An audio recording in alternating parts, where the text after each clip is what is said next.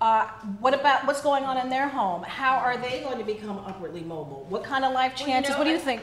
Okay, it's all right. Then I Well- want to hear your point. Go Well, ahead. I think that there are issues of exploitation, and certainly they're not issue, there are issues where workers inside people's homes are not protected by certain, certain laws that other workers are protected by. And fortunately, in New York State, hopefully, the Governor Paterson will sign this bill, which the advocacy community has been working on for over six years.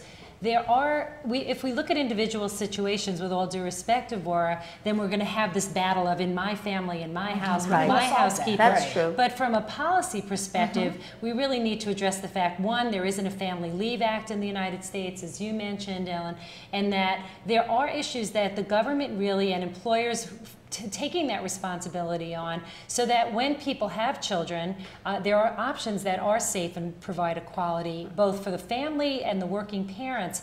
Uh, and this doesn't exist. So we have Mm-hmm. to look at this from what is the responsibility? What are we paying our taxes for?